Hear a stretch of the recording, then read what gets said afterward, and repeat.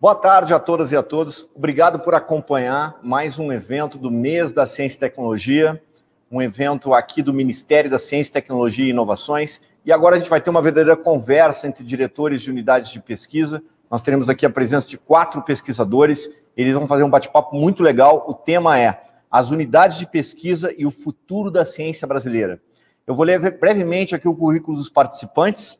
Nós vamos ter a presença do Dr. Augusto Gadelha, pelo NNCC, doutora Giovana Machado, CETENE, Dr. Ronald Sintra Scheller, pelo CBPF, Dr. Sérgio Lucena Mendes, do INMA. Uh, ah, Dr. Augusto Gadelha possui graduação e mestrado em Engenharia Elétrica, Telecomunicações pela Pontifícia Universidade Católica do Rio de Janeiro e pela Stanford University. Mestrado em Estatística, mestrado em Economia, Engenharia e Gerenciamento de Ciência e Tecnologia e PhD em Engenharia Elétrica. Desde dezembro de 2015, é diretor do Laboratório Nacional de Computação Científica, o LNCC, uma unidade de pesquisa do Ministério de Ciência, Tecnologia e Inovações, e professor adjunto 4 do Instituto de Matemática da Universidade Federal do Rio de Janeiro, cedido ao MCTIC. Tem experiência de pesquisa nas áreas de probabilidade, processos estocásticos e estatística, com ênfase em processamento de sinais digitais. Exerceu os cargos de chefe do Departamento de Estatística do Instituto de Matemática do UFRJ, diretor do Departamento de Indústria, Ciência e Tecnologia da Secretaria de Telecomunicações do Ministério das Comunicações, secretário nacional do Desenvolvimento Tecnológico e Inovação, secretário nacional de Política de Informática, diretor do Departamento de Informática do SUS, Ministério da Saúde. Doutora Giovana Machado, CETENE, pesquisadora concursada do Centro de Tecnologia Estratégicas do Nordeste desde 2009, professora colaboradora da Universidade de Caxias do Sul, a UX, e da Universidade Federal de Pernambuco, a UFPE, bolsista de produtividade em pesquisa do CNPq, nível 1C, e pesquisadora na Universidade Federal do Rio Grande do Sul. Possui graduação em licenciatura em Química pela Pontifícia Universidade Católica do Rio Grande do Sul, graduação em Química pela Pontifícia Universidade Católica do Rio Grande do Sul, mestrado em Ciência dos Materiais pela Universidade Federal do Rio Grande do Sul e doutorado em Ciência dos Materiais pela Universidade Federal do Rio Grande do Sul. Realizou estágio de pós-doutorado no MIT como bolsista CAPES, Coordenação de Aperfeiçoamento de Pessoal de Nível Superior, no período de 2006 2007. Tem experiência na área de Química, com ênfase em Química de Polímeros, atuando principalmente nos seguintes temas. SAXS, DRX, aí eu não sei se as siglas estão corretas, microscopia eletrônica, nanopartículas, desenvolve pesquisa principalmente na área de síntese e caracterização de nanomateriais para aplicação em energia sustentável. Seus projetos atuais são dedicados à produção de H2, hidrogênio, e a sistemas fotovoltaicos. O H2 aí é o hidrogênio, desculpe. Utiliza os processos multicamadas, automontadas e síntese de nanotubos para aplicação de sistemas nanoestruturados. Diretora da divisão de materiais da SBQ. Dr. Ronald Sintra Scheller, graduação em Física pela Universidade de São Paulo, mestrado em Física pelo Instituto de Física Teórica e doutorado em Física pela Universidade da Califórnia, Los Angeles. Atualmente é pesquisador titular e diretor do Centro Brasileiro de Pesquisas Físicas. Faz parte da colaboração que opera o Observatório Pierre Roger, da colaboração Cherenkov Telescope Array e é um dos fundadores do Southern Wide Field Gamma Ray Observatory, que começou a vida como Large Array Telescope for Tracking Energetic Sources, LATIS. É sócio da SBF, SBPC, APS, IOP e AAS. É membro titular da Academia Brasileira de Ciências, tem experiência na área de física experimental de altas energias e física de astropartículas. Seu interesse no presente está concentrado no estudo das características de astropartículas, gamas e raios cósmicos com energias muito altas, e em particular no que é o estudo através de multimensageiros, de processos astrofísicos muito complexos. Dr. Sérgio Lucena Mendes, diretor do INMA e professor titular da Universidade Federal do Espírito Santo, possui graduação em Ciências Biológicas pela Universidade Federal do Espírito Santo, especialização em primatologia e mestrado em ecologia pela Universidade de Brasília e doutorado em ecologia pela Universidade Estadual de Campinas. Foi pesquisador presidente do Conselho Científico e diretor do Museu de Biologia, professor Melo Leitão, IFAM. É professor do Departamento de Ciências Biológicas da Universidade Federal do Espírito Santo desde o ano 2000. Atualmente é professor titular, atuando no ensino, pesquisa e extensão, na graduação e pós-graduação. Foi coordenador do programa de pós-graduação em Ciências Biológicas, Biologia Animal, de 2013 a 2016. Diretores, me desculpem os equívocos na leitura dos seus vastos currículos que estão aqui resumidos. Eu espero que vocês tenham um excelente bate-papo. Estamos todos ansiosos por assisti-los. Desde já, passo a palavra.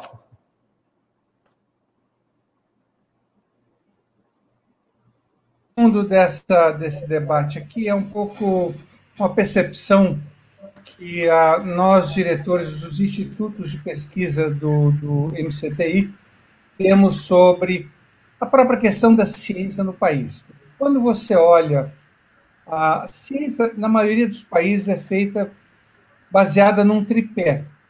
Esse tripé é a, a pesquisa feita na universidade, via de regra com fundos públicos, a pesquisa feita em institutos de pesquisa, também com fundos públicos, e a pesquisa feita na, nas indústrias, nas empresas, com muita frequência também baseada em, em, em recursos públicos.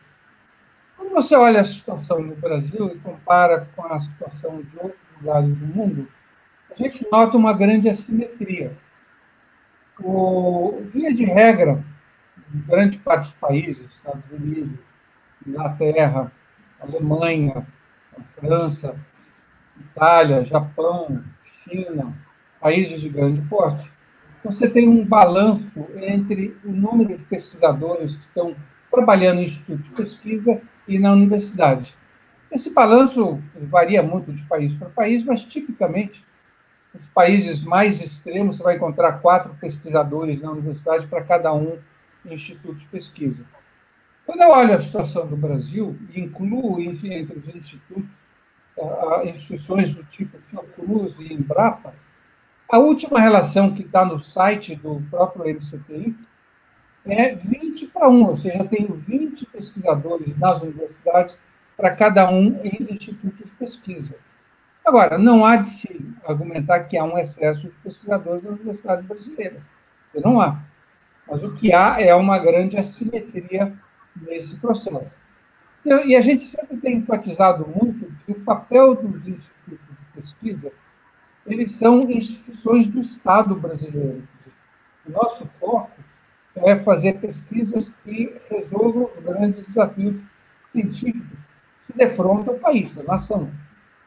O, o, isso em contraste com a pesquisa que você faz na universidade, que também cuida desse tipo de assunto, mas Via de regra, é uma pesquisa mais livre, mais aberta, sem nenhuma, dizer, sem nenhuma restrição.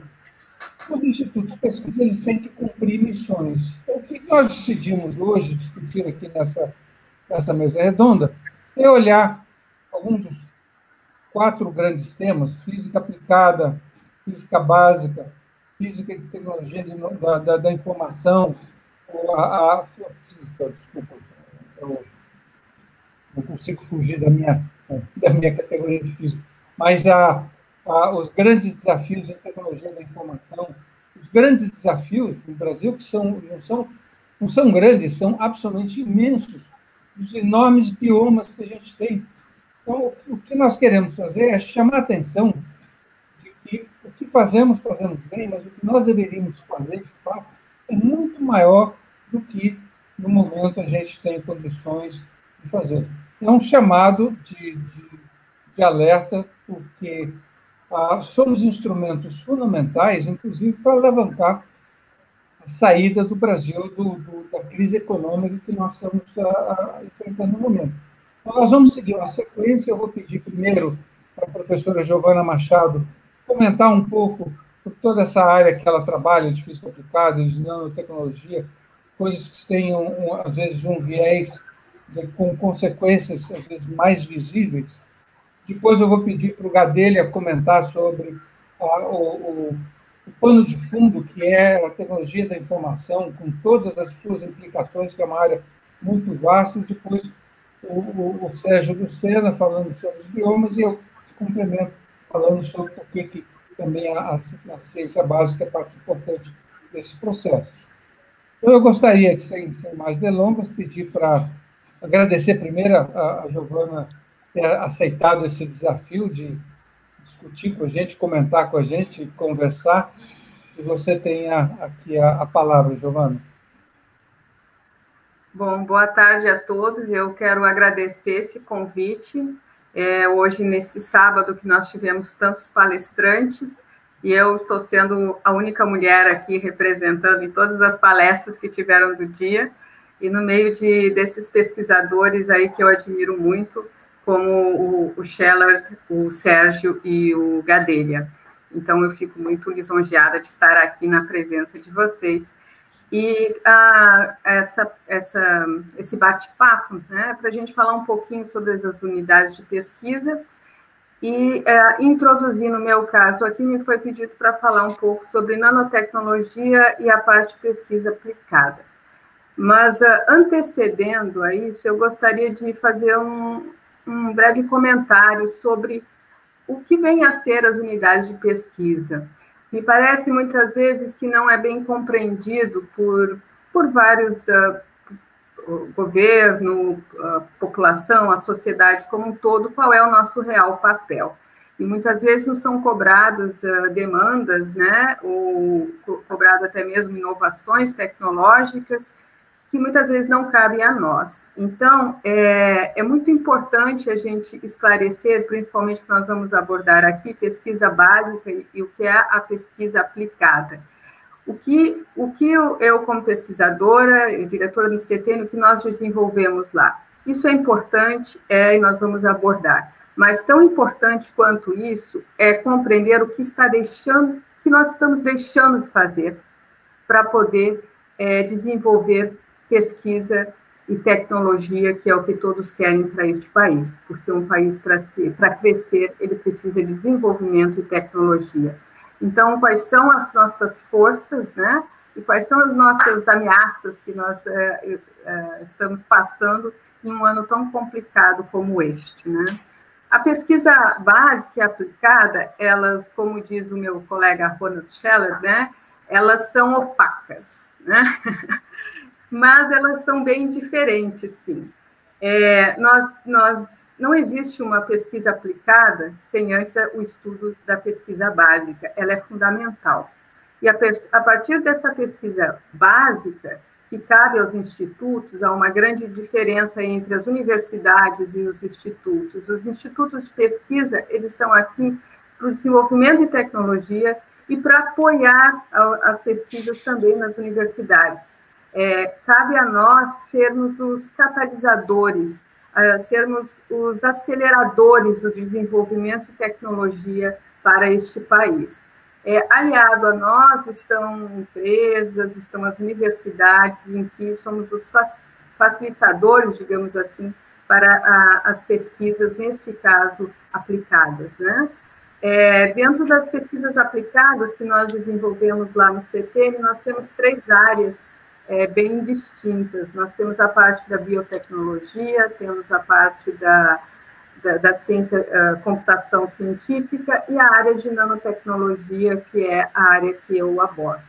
Dentro da área de nanotecnologia, nós, uh, quando se fala em nanotecnologia, todo mundo pensa, uh, o que é nanotecnologia, né? Quem, quem inventou essa nanotecnologia? Nanotecnologia é muito mais antiga do que nós possamos imaginar. Ela nasceu em 1600 e, e existe um cálice muito conhecido que se chama cálice de Licurgo. E esse cálice tem uma característica muito própria. Se você ilumina pela frente, ele fica verde, por trás, ele fica vermelho.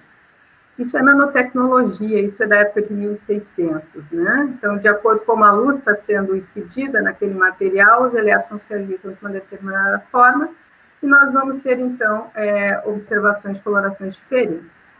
Quando eu pego um fio de cabelo, por exemplo, né? Esse meu fio de cabelo, ele tem, em média, 100 micrometros, que é um micrometro, 10 a menos 6 metros, que é um nanômetro, né? Então, 10 a menos 9 metros. Então, quando se, se fala em nanotecnologia, antes a isso veio a pesquisa básica. Em 1959, um físico muito famoso chamado Richard Feynman, que acho que muitos aqui a maioria conhece, Richard Feynman, inclusive morou um tempo no Rio de Janeiro, né? Os cariocas devem conhecer um pouco mais. E ele, ele já falava assim, o que ainda podemos, o que há muito mais espaço lá embaixo. E ele introduziu o papel da nanotecnologia. 20 anos se passaram e Dressler, né, ele desenvolveu, ele retornou a nanotecnologia com aquelas, com as máquinas moleculares. Então, a, a nanotecnologia, ela está no próprio óculos que a gente utiliza, isso veio de uma pesquisa básica para aplicação, né? É, a maioria das pesquisas a gente retira ela da natureza, por exemplo, a parte de repetitividade, é, a gente observa os animais de uma forma geral, e nós conseguimos, então, identificar como que são essas estruturas e ampliar isso para ciência e tecnologia. Para que essa ciência e tecnologia ela possa ser aplicada e para que a sociedade possa ter acesso a ela, algo uh, tem que anteceder a isso é a credibilidade à ciência. Quando nós perguntamos às pessoas, à sociedade como um todo, é, qual a, a confiabilidade que você tem na ciência? Você sabe o que está sendo desenvolvido? E na maioria das vezes a resposta é não. É, e isso é, eu acho que vem pelo fato da, da ciência e tecnologia ela parecer algo intocável, mas ela não é. Ela está no nosso dia a dia, e ela é a ciência aplicada. Se hoje nós temos os nossos iPhones, né? Ali nós temos a parte de ciência e tecnologia e a nanotecnologia. Se nós temos, então, os nossos óculos antirreflexivos, nós temos a nanotecnologia ali. E numa série de é, materiais que eu poderia ilustrar, eu acho que semicondutores, por exemplo, a parte de energia solar, que é uma das áreas que eu atuo, é, nós desenvolvemos, então, semicondutores. Um, eu acho que o grande desafio que nós temos pela frente, né, é a nossa, a nossa grande força, na verdade, eu acho que é a infraestrutura que os institutos têm.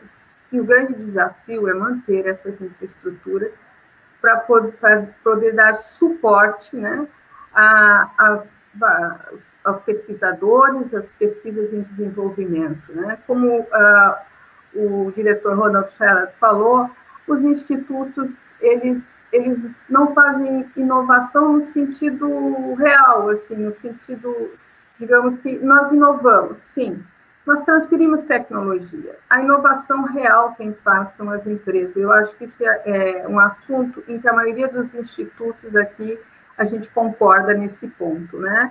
Como eu falei inicialmente, nós somos os aceleradores da ciência e tecnologia. Mas, para isso, é, é importante que nós tenhamos, então, uma política de Estado, que ela se mantenha e não haja uma descontinuidade com, a, com passar de, de quatro anos, por exemplo, né, ou oito anos, enfim. Essa continuidade, essa, é, ela, ela é necessária para que a gente possa dar um salto, um salto quântico, digamos assim. Eu acho que muito nós fizemos em ciência e tecnologia, e muito pouco a sociedade e a comunidade, de uma forma geral, é, conhece o que são desenvolvidos nos institutos de pesquisa. Os 16 institutos de pesquisa e as quatro uh, organizações sociais que nós temos desenvolvem tecnologias de ponta, que vão desde a pesquisa básica à aplicada. Mas isso não quer dizer que nós sejamos os, os uh, transportadores disso, né? É, isto cabe às empresas que com a gente interagem, cabe às universidades que, de uma certa forma, colaboram diretamente, às vezes indiretamente. E claro que aliado a isso vem toda uma parte de orçamento que não poderia ser descontinuado. Estamos passando por uma época bem difícil, né?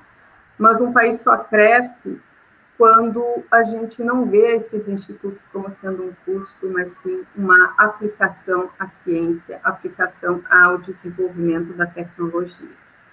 Dentro dos trabalhos aqui desenvolvidos no CTN, nós temos uma parte de biomas também, temos uma parte de é, agronegócios, né, voltado à parte de tecnologia.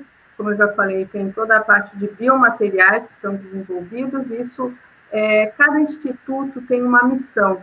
No meu caso, é, juntamente com o INSA, que é outro instituto, unidade de pesquisa que fica no Nordeste, nós somos os únicos institutos com características geopolíticas. Né? E quando se fala no Nordeste, as pessoas pensam no clima, na verdade, a seca e o semiárido, eles, eles são endêmicos daqui e isso não, não traz a, a nossa região é, menos desfavorecida. Nós aprendemos e desenvolvemos tecnologias para melhorar este, este, processo.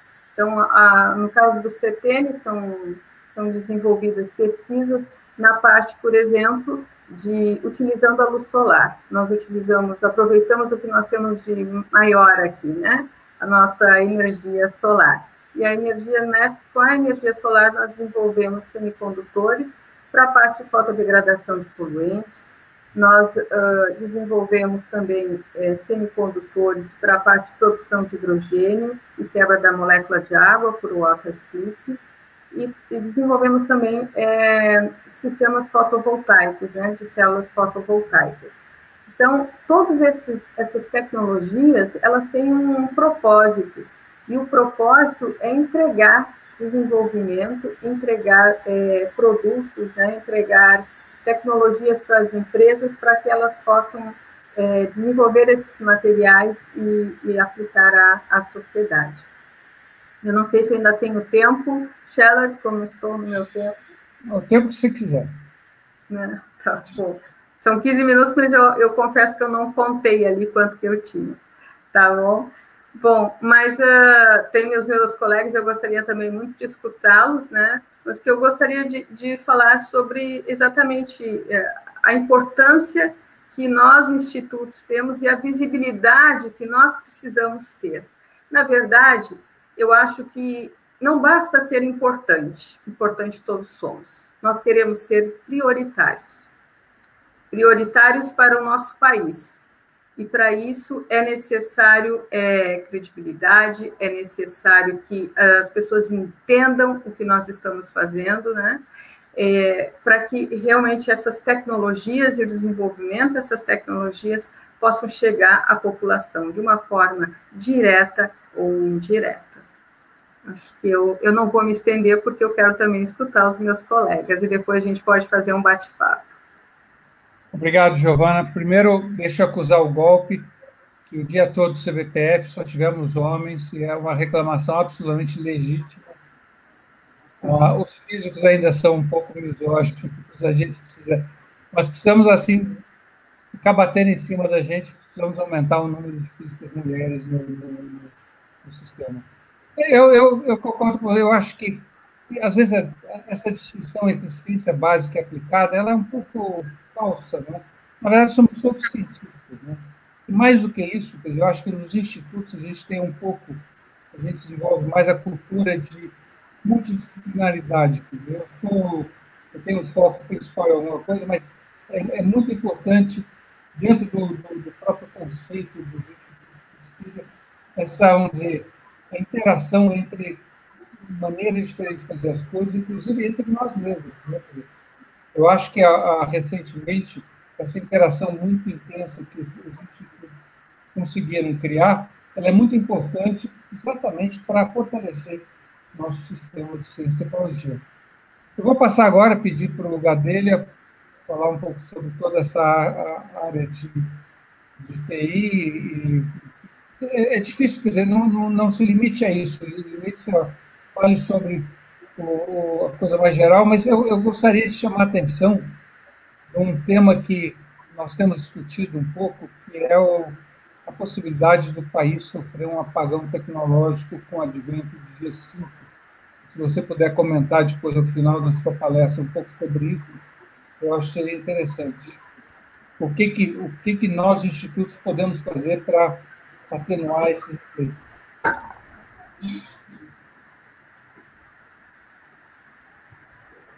Você está sem o seu, seu microfone, está desligado, Gabriela. Pronto, agora liguei. Ah, eu primeiro quero lhe agradecer, Sherry, por ter nos convidado para fazer essa, essa mesa redonda aqui e a gente discutir realmente as unidades de pesquisa. Giovana, você foi precisa na, na, nos 15 minutos. Na verdade, você tinha mais dois minutos, mas não quis lhe, lhe encorajar mais tempo. Mas tudo bem, você fez realmente uma bela apresentação e, e eu, eu lhe saúdo também, Giovana, e ao Sérgio Lucena, grande colega nosso. Viu? Ah, Realmente é, é, importante que haja a compreensão, primeiro, da, do, dos papéis complementares. Não, não, eles não, não são a mesma coisa. A universidade e institutos de pesquisa. Isso no mundo inteiro ocorre. Institutos de pesquisa existem com, com objetivos um pouco mais focados, mais precisos, e normalmente surgem uh, em função de demandas uh, uh, que ocorrem devido ao surgimento de novas tecnologias, de novas necessidades de, de uma nação ou do país. Então, isso é muito comum em vários países, e nós temos realmente, como o Xelet colocou, um equilíbrio entre pesquisadores que estão na universidade e pesquisadores que estão em institutos de pesquisa. O Brasil precisa aumentar dos dois lados ele precisa aumentar os pesquisadores nas universidades e precisa aumentar significativamente os institutos de pesquisa, como todos, e a, os seus a, a, pesquisadores. Então, essa é, algo, é alguma coisa que nós temos, como sociedade, que entender bem. No, se a gente olhar todas as unidades de pesquisa, como a gente chama, da, do Ministério de Ciência e Tecnologia, a gente percebe que eles surgiram no momento em que eram necessários. Até já lá na, no, no, no, nosso império, né, quando o Observatório Nacional é, é colocado, a, a, área de astronomia era fundamental para todos, eh, todos os países. Então, ali era, surge um dos primeiros a unidade de pesquisa nossa. Depois vem o INT de tecnologia, aí vem o CBPF, que vem exatamente no pós-guerra, quando você tem a questão nuclear, a questão de, de, de, que a física passa a ser uma rainha das ciências na, na época, né?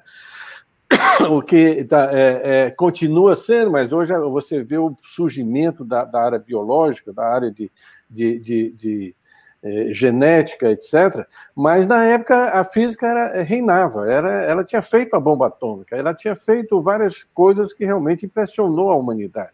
Então a, o Brasil precisava de ter um centro de física, um centro de excelência. E, ao mesmo tempo, você vê a matemática também era necessário ter suporte nisso e assim por diante. Você vê a, a, o Instituto da, da, da, Amazônia, você vê aí o Sérgio Lucena, que vai falar sobre a questão da Mata Atlântica, para que coisa mais importante que a gente tem no Brasil do que a Amazônia, do que a Mata Atlântica, né? Nós temos o INPE de pesquisa espaciais, também eh, foi, surgiu de uma demanda, de uma necessidade da nação em relação à questão da conquista espacial, né? Quando havia essa corrida tá certo? sobre a questão do espaço, quando se percebia que o espaço era importante. Então, não é criar uma universidade para fazer pesquisas espaciais, mas é criar uma instituição que vai levar esse conhecimento mais adiante.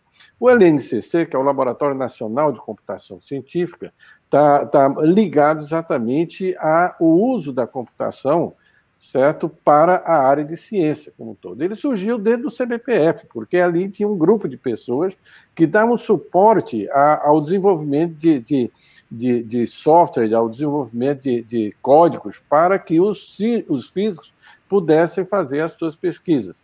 E aquilo ali verificou-se, um grupo é, percebeu que aquilo tinha uma, uma, uma expansão para outras áreas também muito importante. E aí surge a, o LNCC há 40 anos atrás. Este ano nós estamos fazendo 40 anos. E a, a computação científica é, é, passa a ser uma, algo que é uma, uma, coisa de grande importância. O LNCC teve um papel muito importante para desenvolver essa, essa, é, é essa área de computação é, aplicada a ciências, a modelos é, é, usados na engenharia, na, na, nas ciências em geral, e a maneira de fazer com que os computadores pudessem operar esses modelos ou pudessem fazer esses cálculos com grande velocidade. Então, os, os métodos que eram necessários desenvolver, matemáticos, computacionais, e, para todas essas ciências, passaram, passou a ser uma questão muito importante no mundo, certo? No, no, novamente, depois da, da década de 50, Tá certo? Como o computador começa a ser utilizado pelos cientistas a fazer os cálculos. Então, a computação científica surge dentro desse bojo. E o Brasil precisava de realmente um, um suporte muito grande nisso. E, concomitantemente à questão da computação científica, tem a questão da velocidade dos computadores. Tem a questão de, de você ter computadores velozes o suficiente para tratar problemas extremamente complexos. E aí vem a questão da supercomputação, do supercomputador.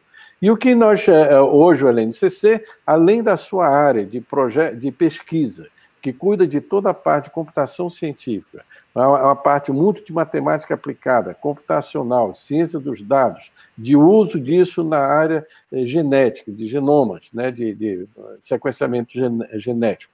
Tudo isso hoje está usando modelos matemáticos computacionais e usando computadores de alta velocidade.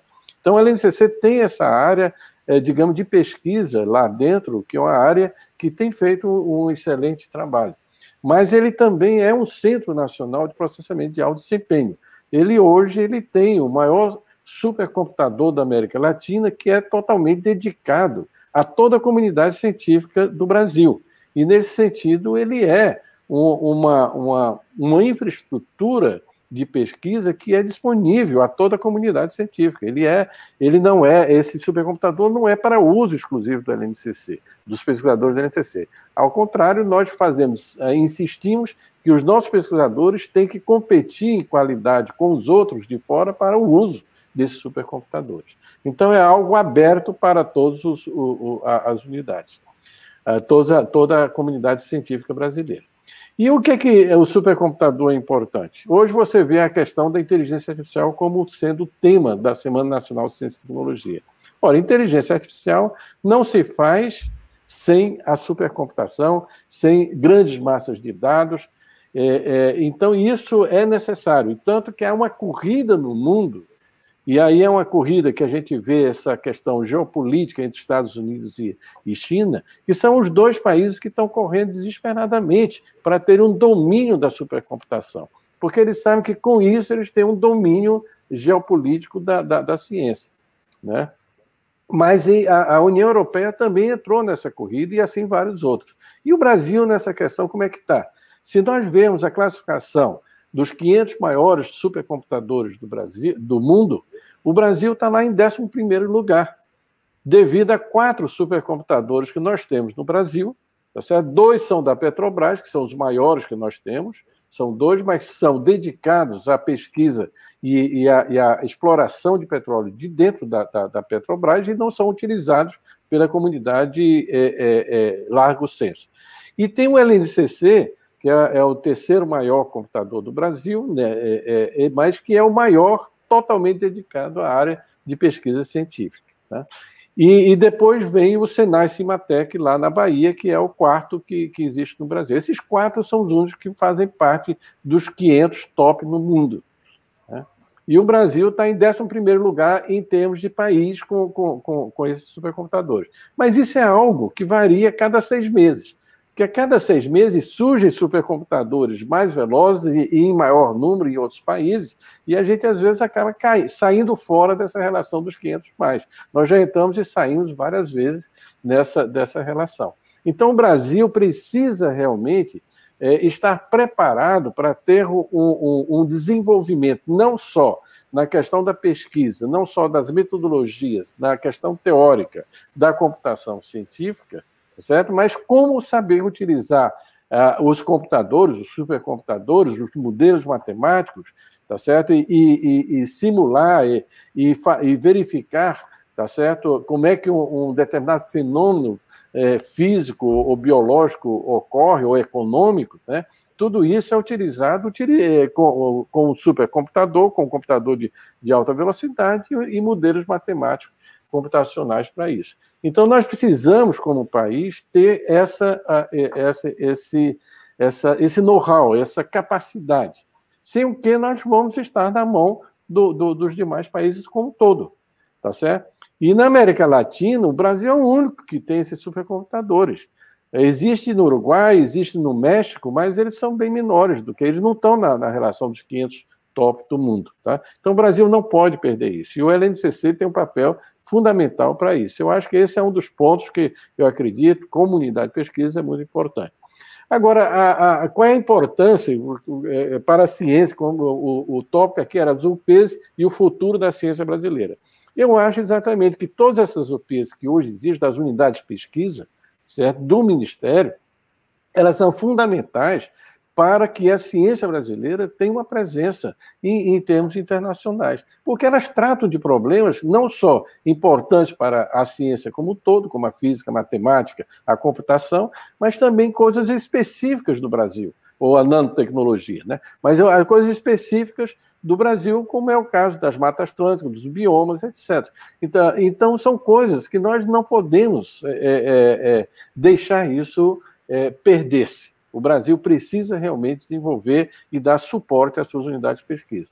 E isso é que é algo que nos angustia muito, porque o que nós vemos é, é o, o, uma falta de apoio continuado de governos, né? Eu não quero colocar nenhum governo especial, mas a, a, a, nós precisamos é, é, é ter realmente um, um apoio continuado bastante intenso.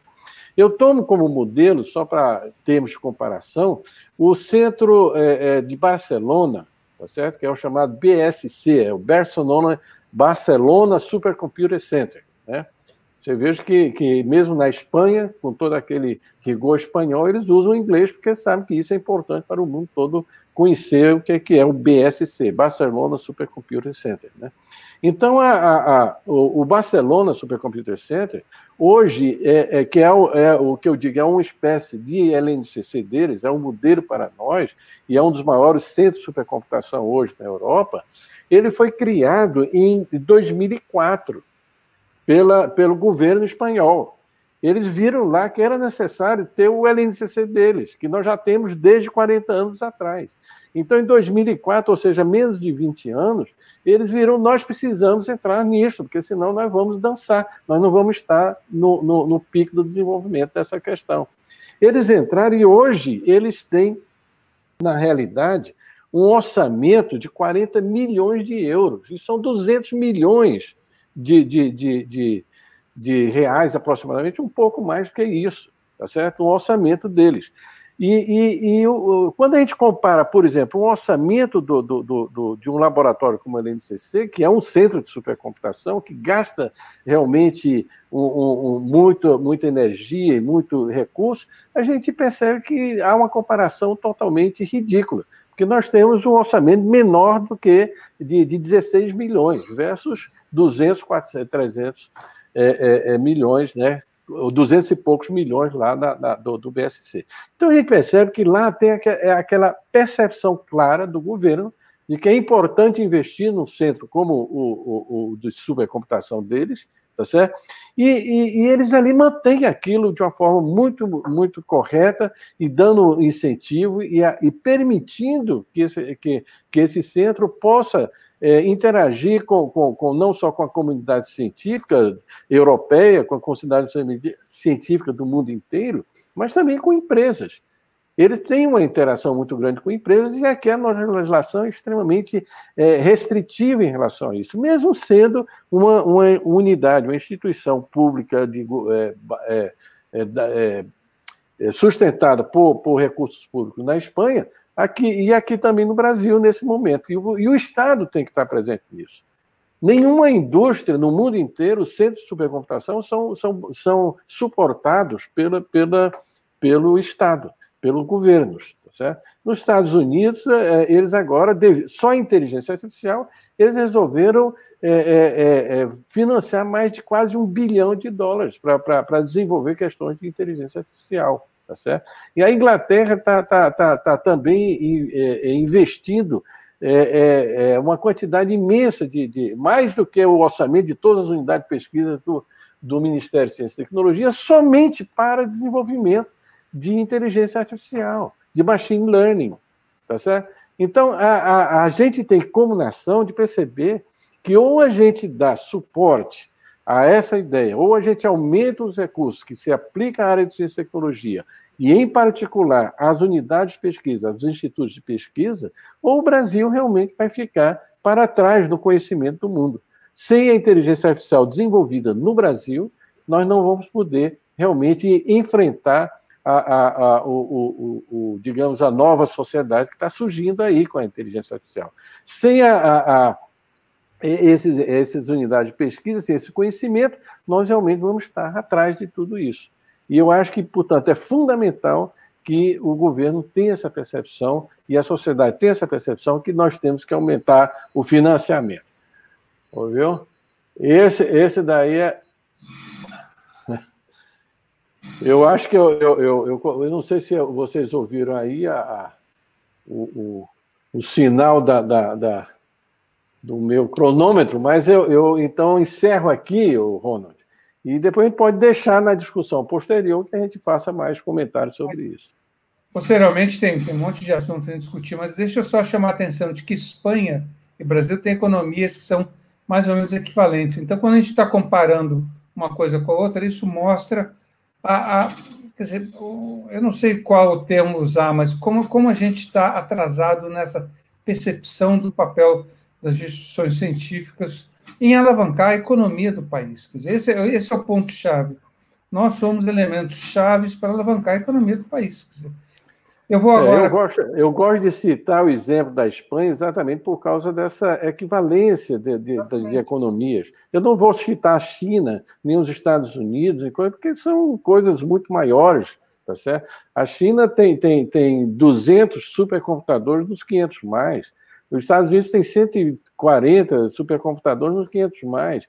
Então, são, são coisas é, realmente de dimensões muito maiores que a nossa. Mas a Espanha, não. A Espanha tem um supercomputador, tá certo? Que é maior do que o nosso, tá certo? Do que, do que todos do, do, do Brasil. Mas é, é isso que você falou. Tá certo? Tem, tem, tem uma economia equivalente à nossa e, são, e, e faz esse investimento, porque sabe que isso tem um retorno.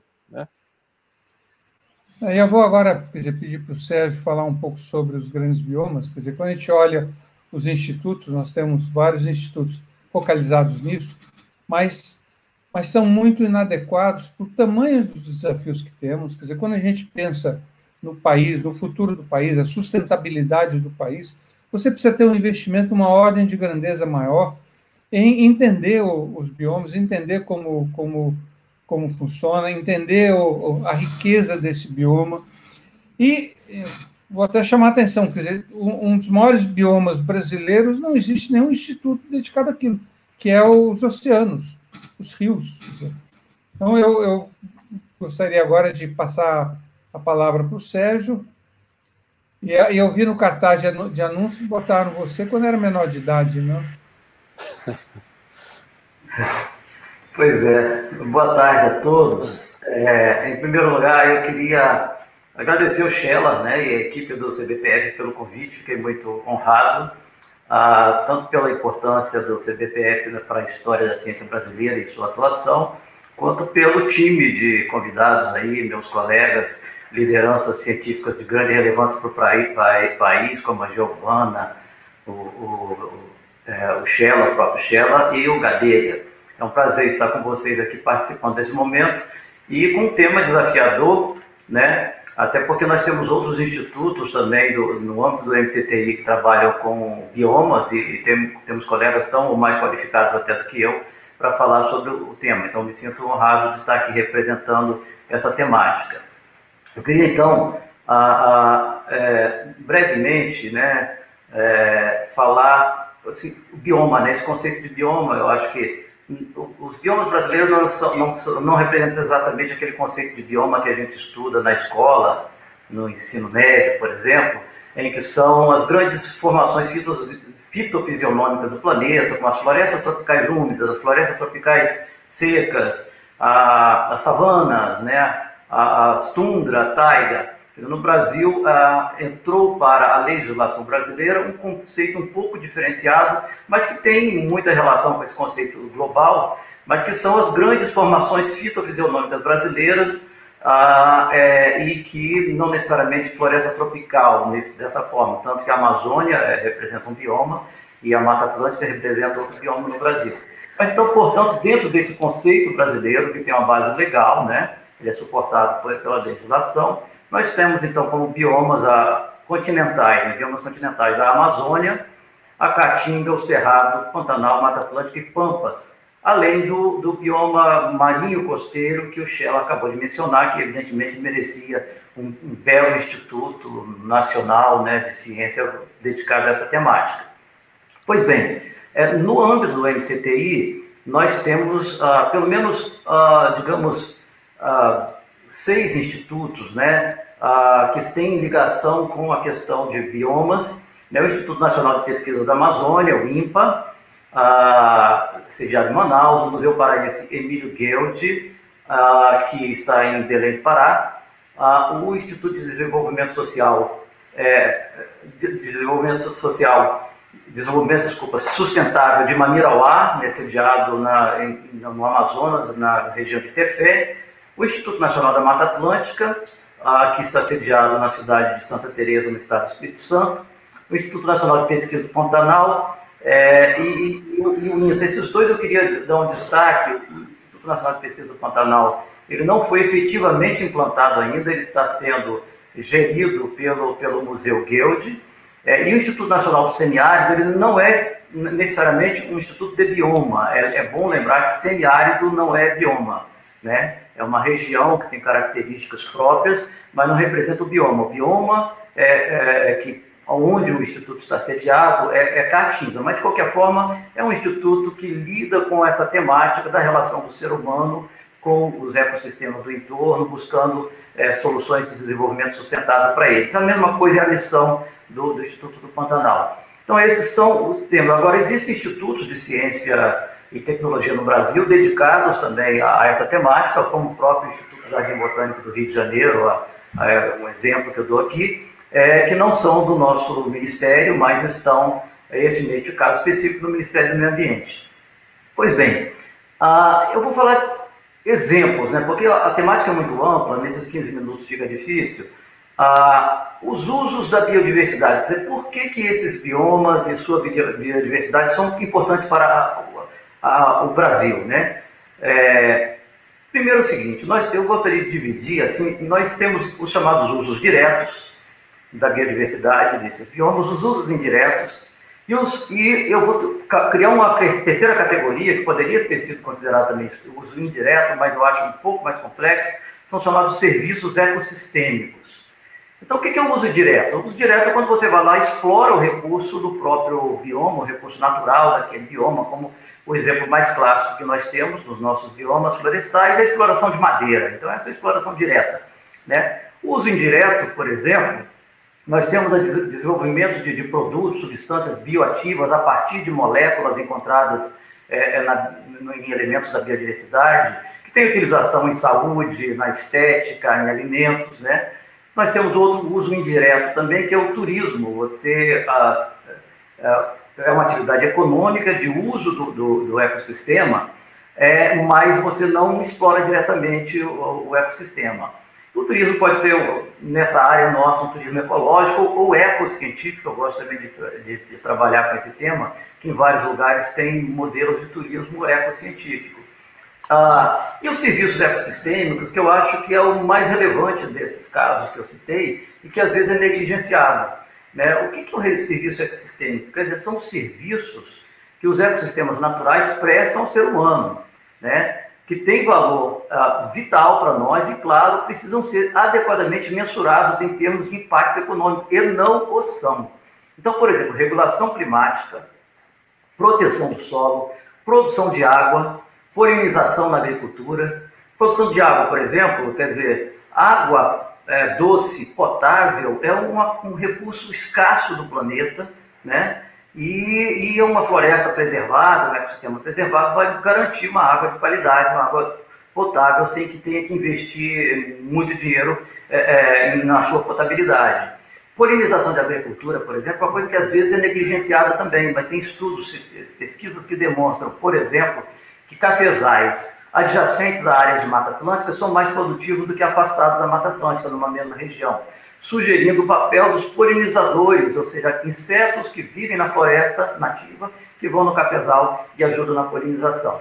Então, esses são alguns exemplos de serviços ecossistêmicos, mas a, a, a quantidade é muito ampla. Agora, vem essa pergunta, quer dizer, onde a ciência é importante nesse processo? De que forma a ciência é importante? Vamos falar num, caso aqui que eu acho curioso, que é a produção de madeira, né? É, eu sou do estado do Espírito Santo e quando eu era criança, na década de 60, estava-se é, explorando o jacarandá, chamado uma madeira nobre, jacarandá da Bahia, também chamado jacarandá caviúna ou jacarandá do Espírito Santo. É, foi assim uma festa, uma fartura na época a exploração do jacarandá. Tinha no Espírito Santo centenas de serrarias é, só para serrar o jacarandá. É, e, e, não havia nenhum estudo, nenhuma ciência por trás disso, nenhuma pesquisa de viabilidade, de sustentabilidade, da distribuição das populações de jacarandá. Moral da história: a espécie hoje é uma espécie ameaçada de extinção, quer dizer, que teve uma relevância econômica numa época, mas por um período muito curto, porque não havia uma ciência que precisaria estar por trás da exploração de madeira, como, por exemplo, você fazer estudo de dinâmica da população da planta, a distribuição geográfica, onde ela ocorre, a sustentabilidade da exploração, né? Por exemplo, se fizesse isso, isso já, vai, já vão 50 anos, né? Se tivéssemos feito um estudo de sustentabilidade, modelado de alguma forma com os recursos da época, a viabilidade do jacarandá, hoje talvez pudéssemos estar continuando explorando essa madeira tão nobre, tão importante é, que, que teve esse impacto aí no passado. Substâncias bioativas, né? Isso aí eu acho que é óbvio para todo mundo. Você tem que identificar a espécie no ambiente natural, você tem que isolar a substância, você tem que investigar o potencial né, ativo daquela substância. E aí, ou seja, tem toda uma ciência envolvida por trás disso, né, que requer anos de estudo, de ciência básica, ou seja, básica e aplicada são, como disse é, é, é outro dia o, o Oliva, né, o Glaucio Oliva na palestra, são dois lados da mesma moeda, né? na verdade. E, e, e, o exemplo que nós temos aí, que eu gosto de citar, o, o remédio captopril para pressão, né, para problemas de hipertensão, ele é do extraído veneno sintetizado a partir do veneno da jararaca, né? E, ah, e outro caso que é muito interessante é a, a, a partir do veneno da aranha armadeira, o foi extraído e sintetizado um produto para disfunção erétil, né? Isso fez um sucesso aí, foi lançado, anunciado em 2017 por uma equipe da Universidade Federal de Minas Gerais. Isso, gente, e, e parece que esse, esse, produto, inclusive, já, já foi patenteado por uma empresa, está estudando a viabilidade é, é, comercial, etc., porque tem outras, uh, inclusive, vantagens sobre o próprio Viagra, que causa outros problemas de, de efeitos colaterais, né? Ah, por exemplo, então, agora, uma espécie de cobra, que é, geralmente, é relativamente comum, que é a jararaca, uma espécie de aranha armadeira, que é comum também. É, não sei se vocês têm a ideia, se alguém tem ideia de quantas aranhas, espécies de aranha a gente tem no Brasil, nas nossas florestas. Vocês que são físicos, não têm ideia, mas nós biólogos também não temos. Tá? Não sabemos. Catalogadas, tem na ordem de 3.200 espécies de aranha brasileira catalogadas, pelo menos isso. Mas pode ser, no total, 10 vezes isso, o número real de espécies que ainda não foi identificado. Então, se uma, se estamos resolvendo um problema aí, quer dizer, vamos resolver o problema sexual do planeta inteiro com as aranhas brasileiras, só com o número de espécies que tem. Então, vocês veem, quer dizer, estou brincando aqui, mas a potencialidade de você preservar um patrimônio desse para, para o futuro. Pois bem, outro uso também que é muito importante é o turismo né, que eu citei e mencionei anteriormente, ou se eu não mencionei, estou mencionando agora, que é também um uso, é, falei sim, é um uso indireto, mas você também tem que pesquisar, tem que ter uma ciência por trás disso. Qual é o estudo da potencialidade turística dos diferentes ecossistemas, diferentes ambientes, a capacidade de suporte, porque o turista também deixa um impacto. Monitorar esses impactos, por exemplo, um grande tema agora é a questão das zoonoses e zooantroponoses, né? ou seja, a doenças, viroses e outras né, oses né, que pulam de, do ser humano para os animais e dos animais para o ser humano. Esse é um grande tema. Então, você vai fazer turismo lá na África, no meio dos gorilas, você tem que estar estudando, tem que ter pesquisa. Aliás, o turismo ele tem um impacto econômico muito grande em muitos países africanos. Né? Isso, o turismo ecológico, de observação de fauna, inclusive de observação de, de, de, de gorilas em Ruanda, por exemplo. Imagina, nós com nossos biomas, do tamanho que são os nossos biomas, como o próprio Sheila falou, com toda a biodiversidade que nós temos, né, é, é, poderíamos estar explorando melhor isso e precisa ter uma ciência dando base por trás de tudo isso. Bem, É, e os institutos, né? Como que os institutos entram nisso? Eu acho que aí, quando o Sheila falou, vamos falar qual é o futuro da ciência. Bom, qual o futuro da, do ano que vem? Do ano que vem eu não quero nem pensar aqui em falar, está complicado. Mas vamos, vamos falar aqui o futuro desejável. Né? E como que os, os, institutos entram nisso? E, e, o que difere também, que já foi comentado pelos anteriores, pelo Sheila, pelo Giovana, pelo, pelo Gadelha, os institutos, em relação, por exemplo, às universidades, eu sou professor de universidade, né? Eles têm uma missão mais focada em objetivos estratégicos. A universidade tem um leque de atuação mais amplo e é, e é bom que seja, a pesquisa é mais livre, vamos dizer assim, e é bom que seja, precisa que seja na universidade. Os institutos não, eles são, é, né, o Shella gosta sempre de chamar a atenção disso, eles têm que cumprir uma missão de Estado estratégica, de atender alguma demanda social, ou seja, foco no atendimento de demanda social, foco no atendimento de demandas de gestão pública. Vou citar um exemplo nosso aqui, Instituto Nacional da Mata Atlântica. Por exemplo, nós temos um órgão do Ministério do Meio Ambiente, que é o ICMBio, que organiza as listas de espécies da flora, flora e fauna brasileira ameaçadas de extinção. Ok. E ele também faz, né, gerencia as unidades de conservação, ou seja, as áreas protegidas brasileiras. Então, qual a demanda de conhecimento? Nós achamos um, um nicho de atuação. Nós temos um projeto aqui agora cruzando essas duas informações. Quais são as espécies ameaçadas de extinção da Mata Atlântica brasileira, onde elas ocorrem e onde estão as, as áreas protegidas. Elas se sobrepõem, as espécies ameaçadas estão nas áreas protegidas, existem lacunas de, de, de, de conservação, então nós vamos embasar a área ambiental com ciência para que possa melhorar, aprimorar o seu sistema de proteção das espécies brasileiras. É, bom, Outro foco é no preenchimento das lacunas de conhecimento, como eu falei aqui já, né, de certa forma. Foco na produção de síntese sobre o conhecimento, isso é muito importante. Eu já estou com 14 minutos e 45 aqui, mas estou terminando. É, foco no preenchimento das lacunas, de, na, na, produção de síntese sobre o conhecimento. Isso eu acho muito importante nós dos institutos vemos isso.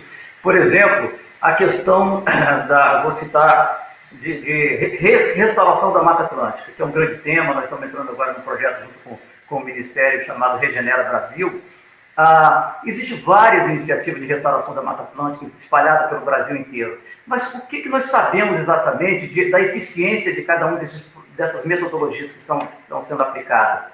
Então, então essa coisa está dispersa na literatura, então nós temos que fazer síntese para disponibilizar ao gestor público, ao tomador de decisão, é, é, para é, poder atuar.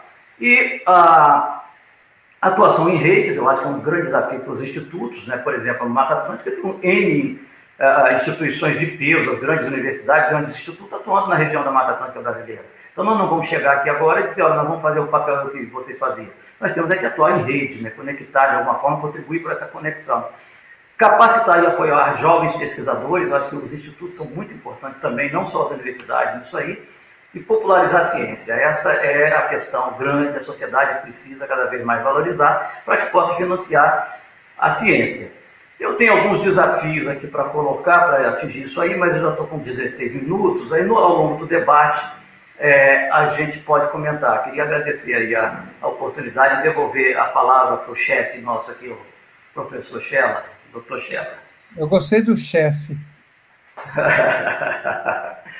Ah, deixa eu falar um pouquinho agora sobre o, o, papel, quer dizer, a Giovana já falou sobre nanotecnologia, que são atividades que a gente também tem no CBTF, mas deixa eu falar um pouco sobre algumas das atividades que a gente chama de ciência básica, mas que tem a ver com grandes colaborações internacionais. E por que, que vale a pena um país fazer isso, ingressar nisso? Né? Por exemplo, nesse momento há um movimento para que o Brasil se torne um membro associado do CERN. O CERN é o grande centro europeu física de partículas, tem um grande acelerador com 27 km de comprimento, tem um, um acelera partículas de energias altíssimas. Eu não vou dizer os números, porque, porque talvez uma, uma, uma audiência mais leiga não faça muito sentido.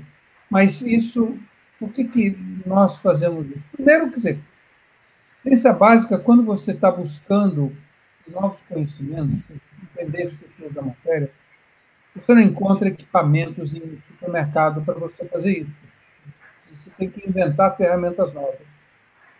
Você, quando monta uma aceleradora, o tipo de tecnologia que você tem que emitir ali são tecnologias que não existiam anteriormente. Não existem no, no, estamos no mercado, mas não existe no mercado. Isso tem, e essa é uma das razões fundamentais pelas quais os países, os políticos dos países, investem nessas áreas. Por quê? Porque você sabe que essas tecnologias, faça o que você quiser, ela vai acabar dando frutos de, de natureza que você não espera muito. Obviamente, o conhecimento que move o cientista, eu, eu quando me meto aí a fazer um desses experimentos de raio-gama, não estou preocupado com desenvolvimento de tecnologia, quer a gente, a gente desenvolve a tecnologia para poder atingir aquilo. O que move os cientistas é exatamente o desafio científico.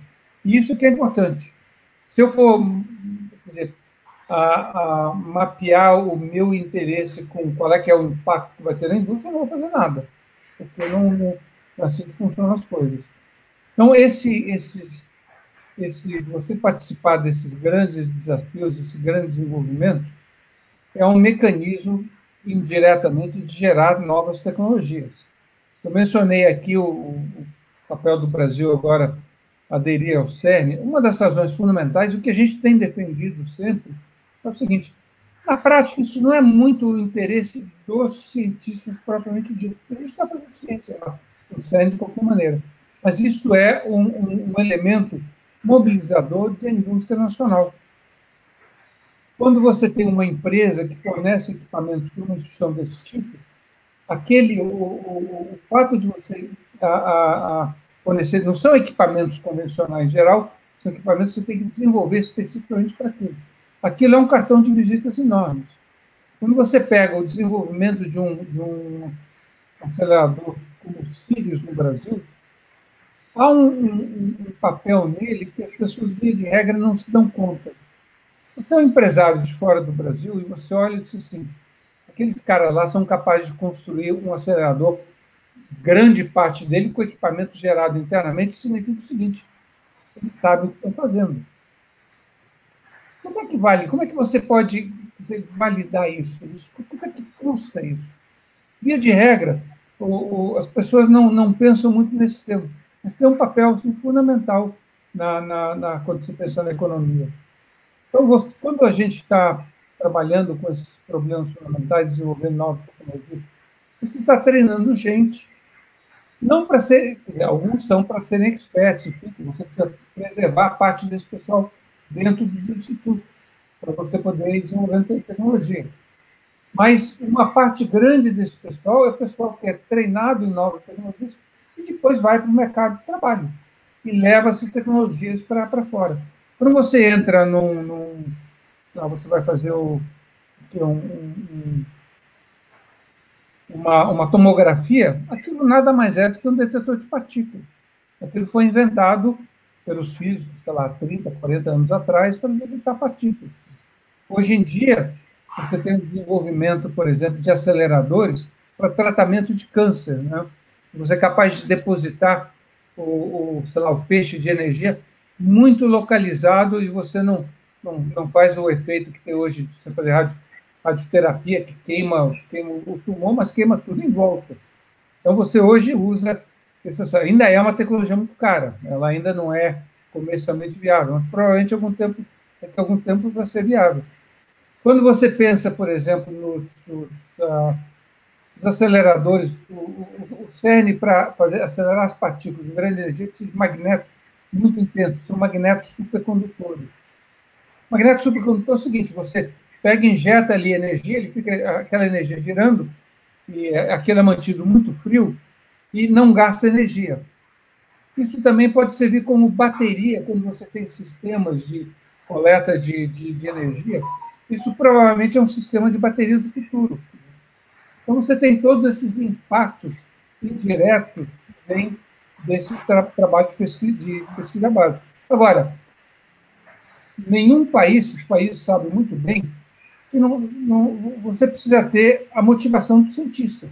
Se os cientistas não estão motivados a descobrir o que eu chamo de as nossas maluquices, você não consegue gerar essas, essas tecnologias adicionais. A, a, a Giovana falou sobre o, lá, teclado aqui de um, de um telefone celular. Ninguém, quando, quando o, pessoal lá que fazia nanotecnologia brincando com, com as superfícies e, e sensíveis a toque não estavam pensando nesse tipo de aplicação. Estavam pensando em, em diversões, em coisas maluquices de, de, de, de físicos, de químicos, de, de cientistas. Né? Então, isso é uma coisa que a gente tem que sempre ter em mente. Quer dizer, nós, do Instituto de Pesquisa, nós temos esse papel muito importante, que é nós não fazemos inovação e não devemos fazer inovação. Esse é um, esse é um tema que eu tenho batido muito. Nós somos indutores de inovação. O que nós temos que fazer é inovação para a ciência. Quando o Sérgio comenta sobre mapeamento, por exemplo, de, de biomas, eu tenho que eu não tenho ferramentas comerciais para fazer na escala que eu preciso no país como o Brasil. Eu preciso inventar novas ferramentas para fazer isso. Esse é o papel fundamental que a gente tem. Nós temos, quando, quando o Gadelha fala sobre. Não basta você comprar só supercomputadores, você tem que desenvolver também tecnologia para construir supercomputadores, supercomputadores aqui. Esse é o papel que a gente tem que ter. E desafios científicos, em, larga escala, significa isso também. Quais é são as ferramentas que eu preciso desenvolver para atender essas demandas que o Estado brasileiro deveria exigir da gente. Né? Por exemplo, eu quero mapear o, o, país com uma resolução de 100 metros quadrados. Eu posso fazer isso hoje? Eu preciso, eu preciso inventar ferramentas para isso. Não é uma coisa trivial. Vale a pena? Esse é um desafio que eu não sei, eu não sei responder isso. É um desafio. Mas eu suspeito que quanto melhor eu conheço qualquer coisa, melhor eu tenho o mecanismo que eu tenho de aproveitar essas coisas. Eu acho que o, tema, o tema fundamental que a gente tem quando a gente pensa nos institutos, em primeiro lugar, é, o, é, o, é o, tamanho do país, a economia do país e quanto é que o país está investindo nisso. Esse é o, é o ponto fundamental. Goste ou não, se você não investe, esse número é um número quase que universal. Se você não está investindo 2% do seu PIB em ciência e tecnologia, está fadado a ficar para trás. Não tem mistério nisso, não é uma questão. Dizer, países, outros países investem muito mais e dão um avanço muito mais rápido. Mas é, é, é, é literalmente, é quase que automático isso. Você investe menos, a repercussão, às vezes, tem uma crise econômica menor. Quer dizer, os economistas não, não, não sei se eu posso dizer isso, Gabriela, mas os economistas não sabem fazer sistemas ah, não lineares, né? Você investe, você ganha mais, quer dizer, você aumenta a sua arrecadação. Aumenta a sua arrecadação, você pode investir mais. Aqui não, você. O argumento é exatamente o contrário. Você só investe, você, você arrecada. Você nunca, você nunca leva na sua equação o, o, a parte não, não, não linear. O, o, mas é, esse é, quer dizer, o argumento da, da gente usar ciência básica é muito isso. Preciso motivar cientistas para fazer suas maluquices. E a regra é que funciona. Dizer, evidentemente, a gente inventa dezenas de novos gadgets e coisas assim que não tem nenhuma utilidade. Não tem a menor importância isso. Basta uma, uma delas ter utilidade que você já ganhou, já, já, já financiou todo o sistema. Quando eu penso na questão do, do da web do CERN, dizer, quanto é. Aliás, é, é importante dizer que a INCC e CBTF foram as primeiras instituições que trouxeram esse tema para o Brasil. Mas quando você pensa nisso, o, quando foi inventada essa ferramenta, o CERN não patenteou.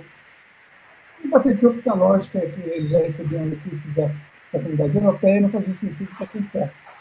E foi isso que possibilitou a toda a molecada começar a usar, a brincar com essa ferramenta. Foi isso que causou a revolução. Não foram os físicos que estavam usando a web que causaram a revolução da, da, da web.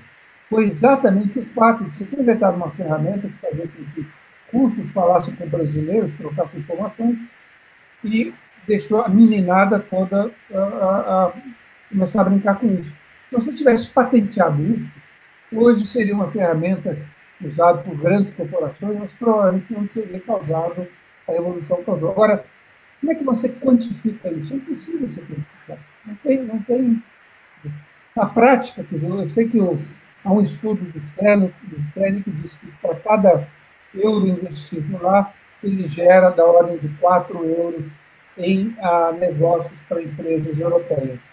Então, por exemplo, quando, quando nós estamos argumentando que o Brasil deve se tornar um membro associado dessa instituição, tem a ver com isso também. Quer dizer, cada investimento que você vai fazer no externo, no Brasil, no país, isso vai ter uma repercussão em um fator de 3 a 4 nas empresas brasileiras. Então, quando eu penso em ciência básica, ela tem um papel muito relevante. Eu, eu, eu sempre existe um pouco ciência básica aplicada, eu acho que essa distinção é um pouco artificial.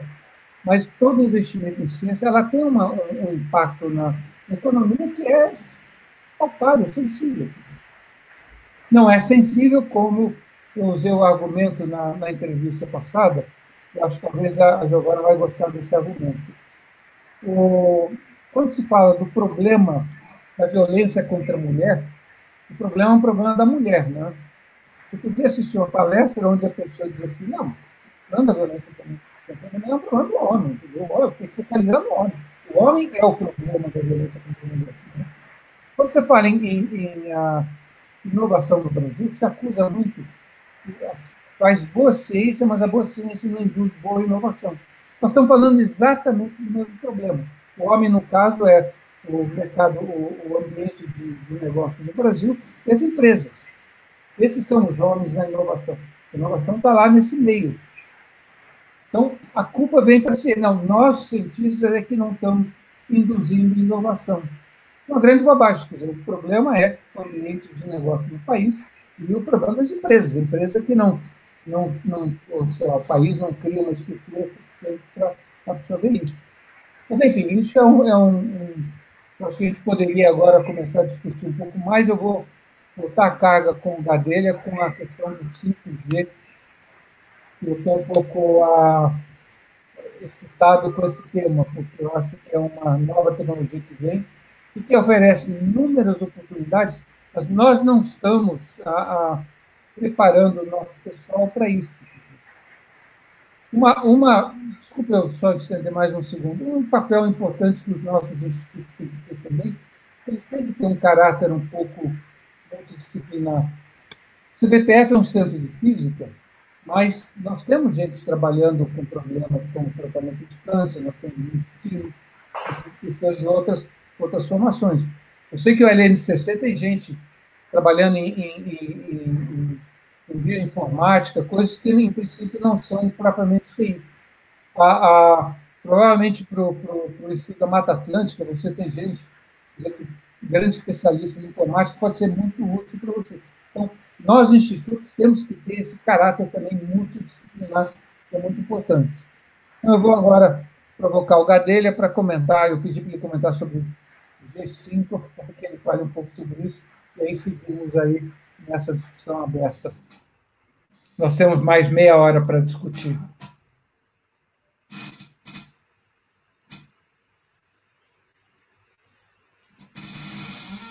Gadelha, você está fechado. Microfone. Antes, a gente tem que se acostumar com todas essas tecnologias modernas, né? e ligar o microfone na hora. Mas, de qualquer forma, antes de comentar sobre o 5G, que é um tópico muito importante, deixa eu só lembrar também o papel que as unidades de pesquisa, por exemplo, do MCT, mas também da, da outras instituições de pesquisa, como é o caso da Fiocruz, por exemplo, agora nessa onda da, da, da Covid, de, de fazerem políticas públicas, né, de apoiar o governo e, e de desenvolverem políticas públicas para aqueles determinados uh, setores. Tá? Então, isso é, é, é, é, muito importante. Mas o país tem que saber aproveitar-se desses institutos de pesquisa.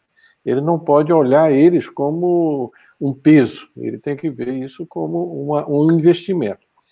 Um comentário bem rápido, Ronald. Eu, eu, tive, eu inclusive comentei com você há cerca de umas três semanas, um mês atrás, eu tive um, numa, numa mesa redonda com o pessoal lá dos Estados Unidos e o pessoal do, do da, da, Coreia do Sul, né? Numa palestra que o cara da Coreia do Sul foi. Então, o, o professor lá dos Estados Unidos, que, que era meu orientador, na época que eu fiz doutorado, ele, ele me provocou e disse: oh, Eu queria que o Gadelha comentasse por que, que a, a, a Coreia do, do, Sul, que quando ele esteve aqui era mais ou menos pau a pau com o Brasil na área de tecnológica, na área científica, é, é, é, deu a explosão para cima e o, e o Brasil não, não, não, acompanhou, sendo um país muito maior, muito mais rico, muito mais. Então, esse é o ponto. Quer dizer, eu, eles souberam dar prioridade, eles souberam fazer aquele investimento que deu retorno.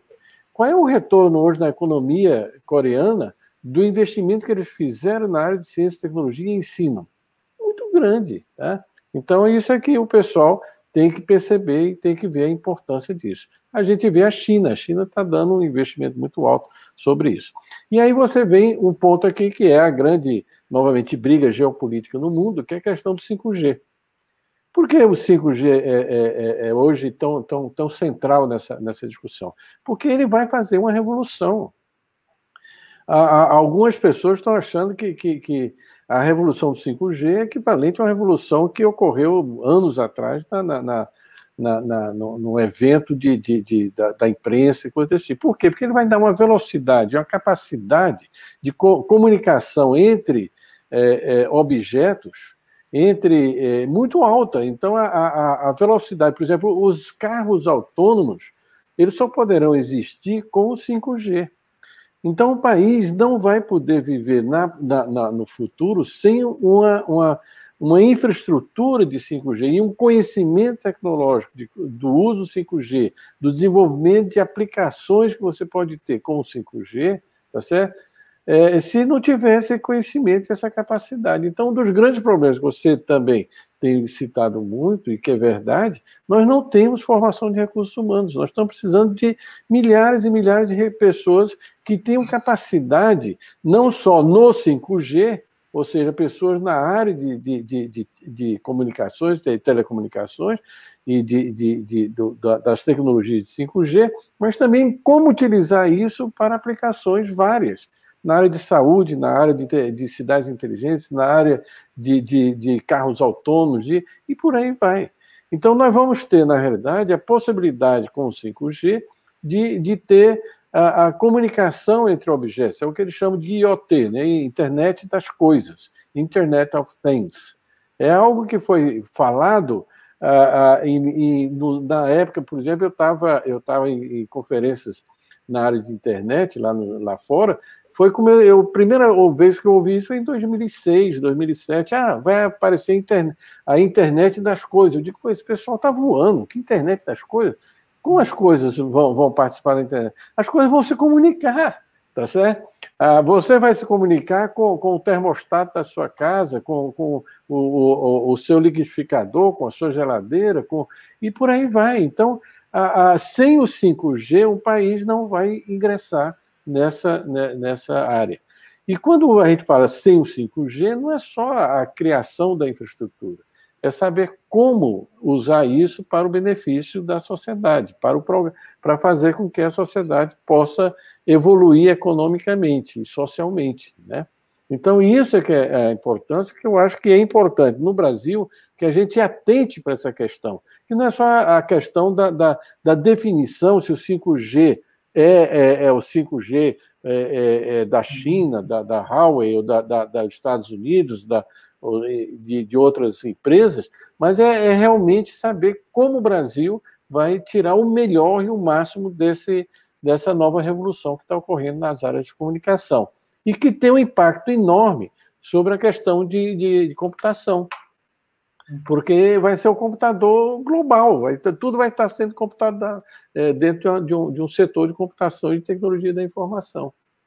Um comentário em cima disso que é, que é curioso, aliás, vou citar o Luiz Davidovich, que tem enfatizado um pouco isso. As universidades brasileiras estão completamente despreparadas para atacar isso, porque 5Z exige uma formação hoje muito mais vamos dizer, holística, né? seja lá o que, eu não gosto muito desse termo, mas, quer dizer, você tem uma formação transversal. Tem um lado técnico, mas transversal, você tem que misturar. E esse é um tema que, aliás, de todos os institutos, quer dizer, como é que a gente traz essa cultura de, de, ah, de muitas, dizer, de, de transversalidade para dentro dos institutos. Ele não pode ser focalizado numa linha só. Agora, deixa eu provocar a Giovana, dizendo o seguinte: Giovana, eu, eu fui nomeado ministro de Ciência e Tecnologia, com todo o poder possível, e multiplico por um fator de cinco o seu orçamento. O que, que você faria? de imediato? De imediato, eu tenho que investir nos recursos humanos, porque de nada adianta eu ter infraestrutura se eu não tenho pessoas preparadas para atuar Mas lá. Eu, como ministro de então, acho... os recursos humanos estão lá. Isso não, não, é, não preocupe com o recurso humano, eu quero saber o que você vai fazer com o dinheiro prático. O que, que são os desafios que você gostaria de abordar e atacar? Eu não quero atacar ninguém, ao contrário. Eu quero, eu quero fornecer tecnologia para salvar vidas e não para tirar vidas. Eu acho que é, investiria com certeza na, na parte de energia solar. Eu acho que é uma área em que, em que nós temos aqui, somos muito ricos né, neste, nessa área. O Brasil tem uma grande incidência solar e, infelizmente, nós não desenvolvemos ou, ou somos muito incipientes ainda na parte de energia solar. Só para você ter uma ideia, grande parte, quando se fala em células fotovoltaicas, ainda está trabalhando com as células de silício, é, em que a gente já sabe que é uma tecnologia que já não, não tem mais onde desenvolver, as novas tecnologias, perovskita, enfim, é, países como Coreia, que investiu nas corantes, Alemanha, estão bem à frente né, dessa, dessa, dessa área. É, é uma área que, quando a gente pensa no Brasil, que nós somos sustentáveis, 45% da nossa energia ela é renovável, porque a gente tem as hidrelétricas, mas se a gente tem uma seca, como já teve, e já tivemos até apagões em função disso, né? Nós vimos que a nossa sustentabilidade ela é falha. Então, eu, eu investiria com certeza na parte de energia solar, tanto para células fotovoltaicas como para a produção de hidrogênio, que eu acho que é uma, uma nova uma tecnologia que está está ainda incipiente, mas que tem um espaço muito grande para crescer. Quando se fala em, em fontes renováveis, eu não, não, penso em uma única, mas em um conjunto. A gente precisa de uma casa sustentável em que você tenha energia eólica, é, células fotovoltaicas, produção de hidrogênio, essa, essas tecnologias trabalhando em conjunto para a geração de uma energia limpa, já que a do petróleo é infinita. Né? Sérgio, né? o ministro de Ciência e Tecnologia te dá 100 servidores. Quais é são suas prioridades? Eu quero, eu quero. Tá, tá sem, tem som, sem som. Tá, tá sem som. Tá sem microfone. Eu, ah, eu dei mais sorte que a Giovana, que eu tive tempo de pensar, né? Mas ah, é, é, que nem aquele menino que senta lá atrás, assim, da fila, na escola, para que quando chegar a pergunta a ele, ele já sabe mais ou menos o que vai chegar, né? Mas olha só, é, eu, eu creio que é o seguinte, o grande tema seria montar um, um programa de mensuração e monitoramento de serviços de ecossistema, do ecossistema da Mata Atlântica. Por quê? Porque isso é um, é um, é um programa que teria que integrar a expertise profissionais de várias áreas, por exemplo, o computador lá do, do Gadelha, né? Teria que para você, porque a, a, o conjunto de informações é muito grande.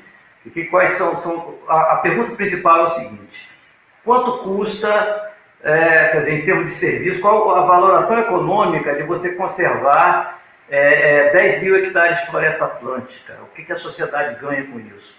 E, e, ao que tudo indica, alguns estudos feitos, etc., ganha muito, né? Ganha muito, mas isso não está devidamente quantificado, devidamente demonstrado é, para as pessoas. Então, você, a ideia é você ter um programa de mensuração e monitoramento de serviço ecossistema acoplado a um projeto de restauração da Mata Atlântica, que você possa dizer, olha, fazer um mapa de prioridades é, que cujo esforço dê um melhor resultado, ou seja, através de um processo de modelagem avançada. Por isso que você precisa de, de dos computadores lá do, do Gadelha, né, do LNCC, e, e de, você precisa de profissional da área de economia, você precisa de biólogo, você precisa de gente da área de hidrologia, da área de física, né, porque os fenômenos climáticos e de meteorologia, por exemplo, é, é, eu acho que esse seria um desafio importante para a Mata Atlântica, e aí você pode chegar para os gestores, para os políticos, mostrarem, olha,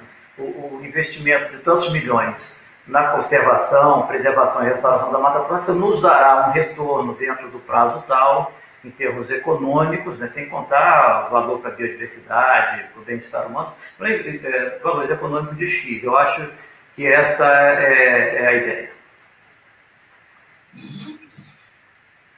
Mas eu não pretendo ser ministro, mas de qualquer maneira seria muito bom se a gente pudesse ter ministros. Já tivemos um pouco no passado, né? Eu tenho uma pergunta aqui no, no, no chat que pergunta o seguinte: como falar em ciência quando temos um país com gigantescos problemas de saúde, segurança e pobreza? Alguém gostaria de abordar esse assunto? Olha, eu, eu, eu, um comentário rápido, eu acho que aí depois. Ah, primeiro, Giovana, o, o, o, Nordeste é de uma riqueza imensa na questão de, de energias alternativas e faz muito bem você explorar isso daí. Né? Agora, essa questão aí, é, é, é eu acho que é, é, um falso dilema que constantemente se é colocado. Ah, eu não vou, eu não vou investir em, em ciência e tecnologia porque eu tenho problemas maiores sociais, problemas de saúde, etc. Ora, as duas coisas só, só podem ser. Ah, o problema da saúde no Brasil ele é resolvido através da ciência também. Você já imagina se a gente não tivesse o desenvolvimento científico que foi demonstrado agora com essa epidemia, tá certo? Dentro da, da, da, da dos grandes centros de, de, pesquisa na área que, que nós vimos de genética, na área de, fármacos, na área de, de eh, em geral de, de análises, de, inclusive de modelos matemáticos, etc., a gente demonstrou uma capacidade que nós temos já instalado no Brasil, permitiu a gente de participar da, da, da, da, de cura ou, ou da, da, nesse sentido. Então, a saúde, ela precisa da nossa ciência, ela precisa da ciência, ele precisa, é, é, aliás, é, ela precisa que nós, no Brasil, tenhamos ciência é, aplicada para isso. Tá? Como é que nós vamos entender todos os mecanismos hoje da ciência, é, da, da, da, medicina, por exemplo, da, da do, do cuidado da saúde, sem isso? Telemedicina, tem todo um know-how para isso, a questão de, de, de, robótica, a questão de tecnologia, da, da, da, inteligência artificial. A gente tem hoje possibilidades de fazer, através da inteligência artificial, diagnósticos que a gente no passado não conseguia fazer. Tá?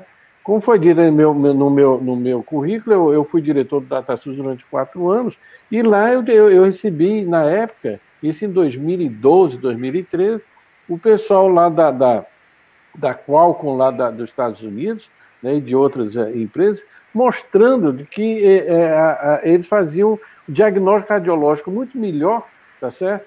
Com a inteligência artificial nos computadores do que com os médicos.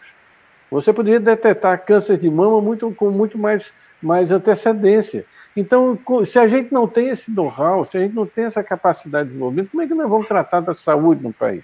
As coisas não são contraditórias, as coisas têm que vir juntas. E isso foi demonstrado em vários países e, te, e nós temos que tirar essa, essa, esse conflito entre esses dois setores, entre essas duas coisas. Me, me permite uma, um, um, comentário adicional aí. É, eu costumo dizer assim: meu pai faleceu este ano, ele viveu 90 anos. Ele viveu 90 anos por causa da ciência, das ciências médicas. Ele teve um infarto violento aos 59 anos de idade. Né? Então, se, se tivesse esse fato tivesse sido 10, 20 anos antes, não tinha ciência para mantê-lo vivo mais 30 anos depois. Né? Então, a, a, a própria taxa de a expectativa de vida do brasileiro cresceu do jeito que cresceu nas últimas décadas em função da ciência, das ciências médicas, da pesquisa séria, descobrindo novos, é, novos fármacos, né? E que podem ser retornados é, é para a população brasileira. E outra coisa que é importante também é que também as coisas, em ciência, as coisas não são da noite para o dia. Né? Ah, precisamos agora resolver o problema uma doença nova que chegou, vamos pegar os cientistas, começar do zero e queremos na semana que vem um resultado. Não é assim. Nós, o Brasil respondeu de forma rápida e eficiente, por exemplo, o problema da epidemia da Zika, porque você já tinha laboratórios trabalhando esse tema, laboratório de virologia, laboratório de ciências médicas. Quando surgiu o problema, os cientistas já estavam preparados para enfrentá-lo. Então, isso é muito importante quando pensa essa dicotomia entre básico, né, ciência básica e aplicada, entender isso. É que você não aplica da hora para o outro um conhecimento científico se ele não foi construído na base ao longo do tempo. Eu é, queria também só comentar que quando a gente pensa em sociedade, o que a sociedade ela espera a gente é que nós possamos é, ter é, resoluções para pro, problemas para melhor qualidade de vida. E quando a gente pensa nisso, uh, é, é, impossível pensar nisso sem antes pensar em ciência e tecnologia.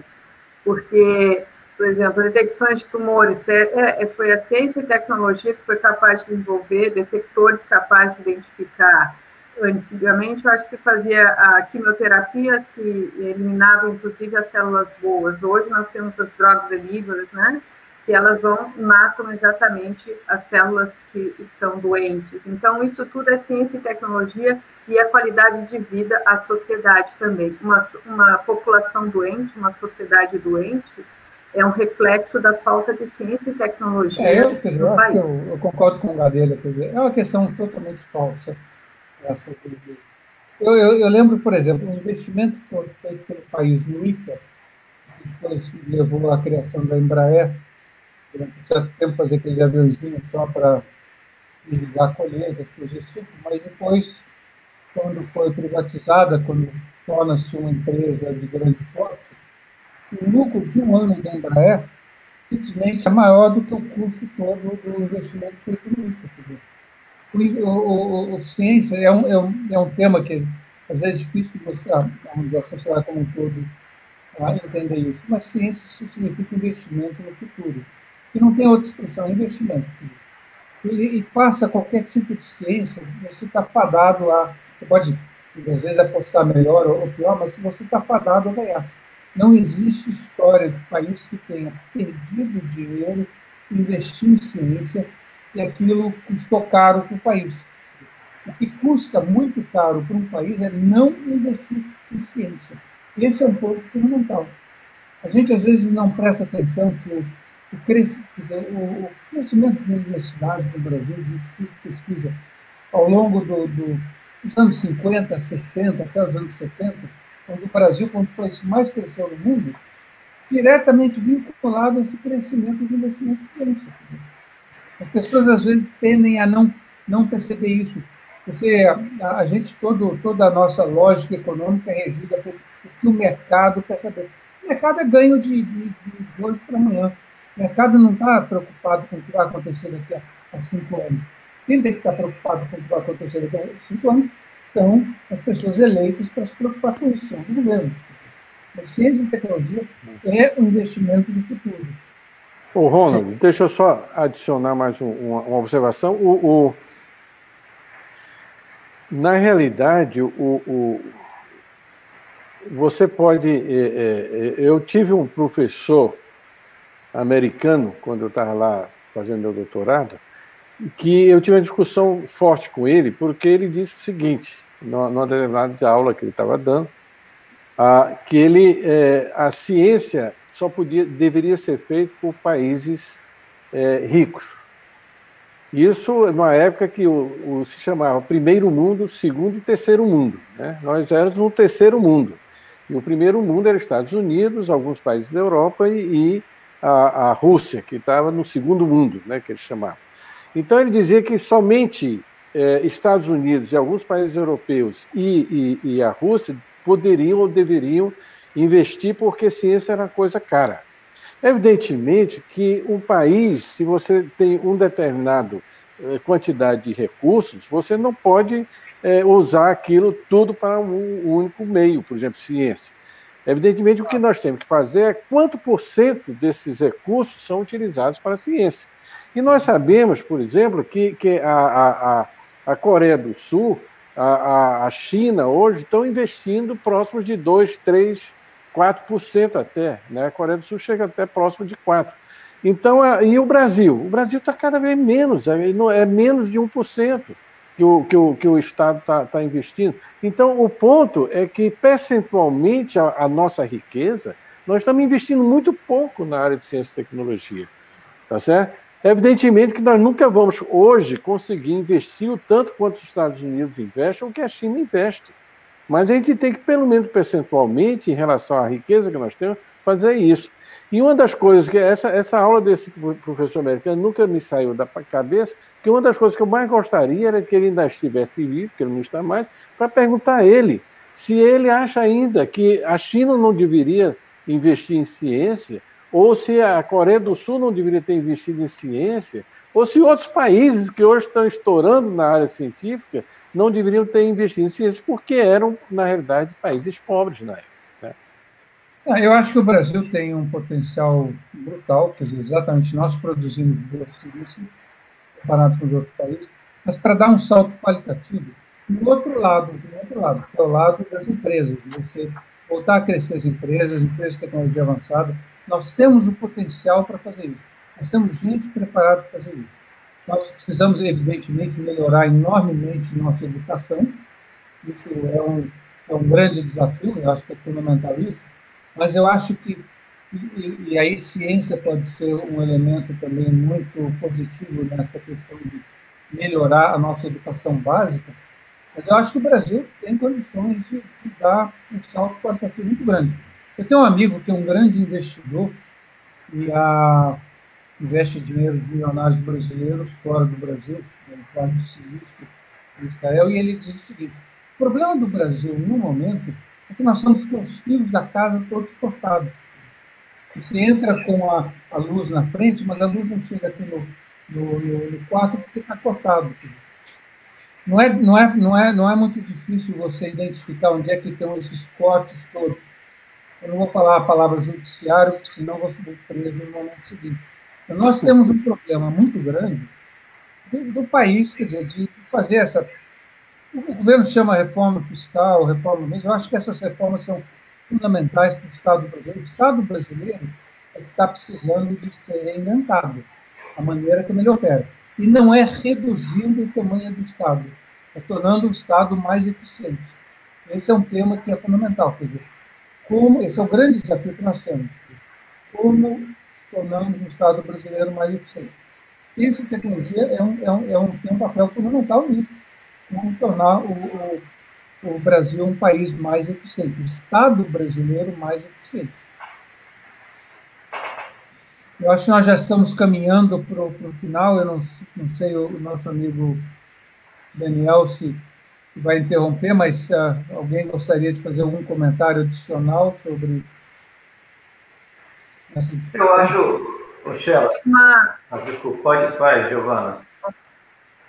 Não, é só uma pergunta que eu vi ali, que perguntava como incentivar os jovens, né? Os jovens, uh, como fazer que um morador de favela seja um jovem cientista? É, eu acho que são políticas públicas uh, importantes, mas que também pode existir nos, nos institutos de pesquisa, como projetos de extensão, e como eu, eu escutei hoje o Scheller falando, que eles têm projetos nesse sentido para meninos e meninas, como o CTN tem o Futuras Cientistas, que é para incentivar somente as meninas né, na área de ciência e tecnologia, já que somos tão poucas assim, não é mesmo? Então, é, são, acho que, por políticas públicas e, e os institutos também têm seus programas de extensão que podem apoiar isso, né? trazendo esses jovens para passar uma escola de verão, desenvolvendo ciência e tecnologia. E perceberem que ciência é, é um segredo, é muito divertido você fazer ciência. Os salários não são. Você não pode comprar uma, uma, uma Ferrari ou coisas tipo. Eu, na minha idade, nem, nem consigo entrar numa Ferrari. Então, para você consegue comprar um bando de livros, como está aqui atrás, e torna a vida muito divertida. E, e eu sempre, eu me lembro uma vez estava dando uma palestra no Angra dos Reis e estava comentando exatamente sobre esse aspecto. Fazer ciência é a gente viaja muito, vai para conhece muitos lugares, aprende a esquiar e aí tinha um menininho lá, lá bem, bem assim. Eu queria aprender a esquiar. Será que fazendo ciência dá para isso? Vai fundo, você vai aprender a esquiar fazendo ciência. Mas essa é uma coisa que é muito divertida, que a gente, essa mensagem tem que passar principalmente para grande parte da população, quer dizer, Fazer ciência é uma coisa muito divertida. Mais divertida do que ser advogado ou ser outras profissões, onde você trabalha de. O grande problema é que você não trabalha de 8 a 5, você trabalha lá, 16 horas por dia, mas é divertido, mais divertido do que trabalhar de 8 a 5. Eu queria, Sheila, era fazer só um, um comentário dentro desse tema da, dos institutos né, de, de ciência e tecnologia, mais especificamente em relação à MCTI, uh, é que a gente precisa de um, de um plano, né? a gente precisa de um programa de estruturação dos institutos. Né? Eu, nós temos aquele processo que está sendo discutido no âmbito do Ministério, do CGE, etc.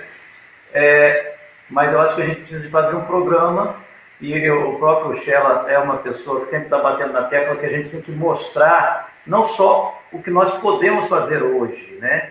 Porque, por exemplo, o Instituto Nacional da Mata Atlântica precisa se estruturar, essa é a verdade. Né? Se for perguntar o que, que vocês podem fazer hoje, é muito pouco diante da missão e da importância do bioma Mata Atlântica. E assim, os, os institutos mais antigos vêm perdendo pessoal, perdendo orçamento ao longo do tempo, podem fazer muito menos do que já foram capazes até de fazer. Então, o que a gente precisa é de um plano de estruturação dos institutos que dê um tratamento, inclusive, diferenciado a cada caso. Por exemplo, eu tenho falado, a Giovana representa um instituto novo também, né, criado por lei junto com o Instituto Nacional da Mata Atlântica, juntamente com o Instituto Nacional do, do Pantanal, de pesquisa do Pantanal, né? É, nós precisamos de um plano de estruturação desses institutos. Eles foram criados por lei para atender uma demanda da sociedade brasileira, aprovado no Congresso Nacional. Precisamos, então, de uma programação, de um plano de metas, de médio e longo prazo, que possa chegar. Esse é o instituto que nós queremos daqui a 5, 10 anos. Né? Então, eu acho que a gente tem que trabalhar nesse sentido. Precisamos de apoio, claro, de, de, de cima, de Ministério, de governo federal, e também dos nossos próprios institutos entenderem essa necessidade. Sérgio, eu gostaria de lembrar que quando foi lançado esse programa aí que nós estamos envolvidos, de Planejamento Estratégico Futuro nós fizemos lá com o ministro Marcos Pontes a pergunta: podemos pensar grande? Lembrar que ele disse: pode pensar grande. O ministro Marcos Pontes, essa mensagem para o senhor. Queremos pensar grande na, na expansão dos institutos nesse país. Eu acho que podemos encerrar essa, essa mesa redonda com esse apelo. Eu tenho certeza de que ele vai receber bem esse nosso apelo. Vamos pensar grande na expansão dos institutos para esse país. Nós somos elementos fundamentais para a reconstrução da economia do país e para irmos para, para, para diante. E confiamos no tato dele de conseguir convencer o presidente da República que tem que apoiar esse processo.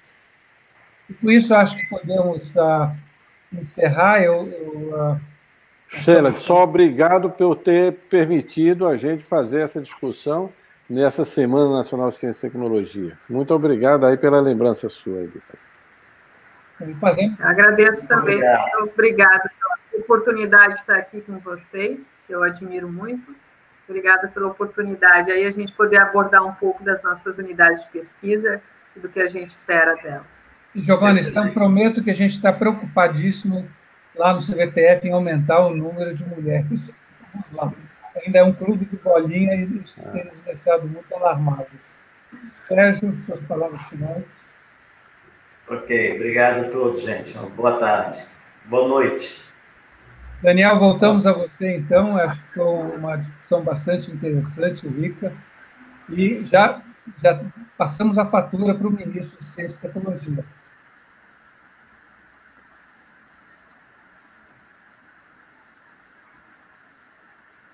Daniel, você está sem, sem, sem microfone, Daniel.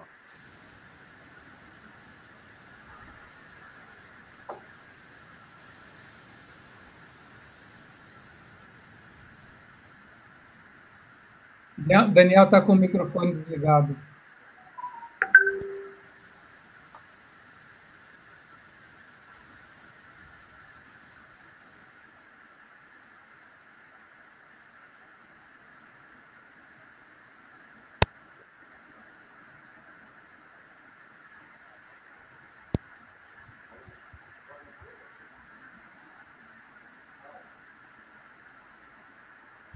Esse funciona. Alô? Alô? Então, agora está melhor, aumentando. Está para ouvir? Agora sim? Sim. Não estão ouvindo. Estou sendo escutado agora? Estamos, mas era bom você aproximar, aproximar mais. Esse aqui eu acho, né? Ótimo, desculpem, excelente. desculpem, desculpem. Acontece. Uh, diretores, muitíssimo obrigado. Doutor Augusto Gadelha, diretor do LNCC, doutora Giovana Machado, diretora do CETENE, doutor Ronald Scheller, diretor do CBPF, doutor Sérgio Mendes, diretor do IMA, promoveram um debate profundo sobre o futuro da ciência no Brasil. Eu fico com as últimas palavras que foram ditas. Pensar grande, vamos pensar grande, é o recado não só para para o nosso ministro, mas para as gera próximas gerações, aí, os estudantes que estão nos escutando.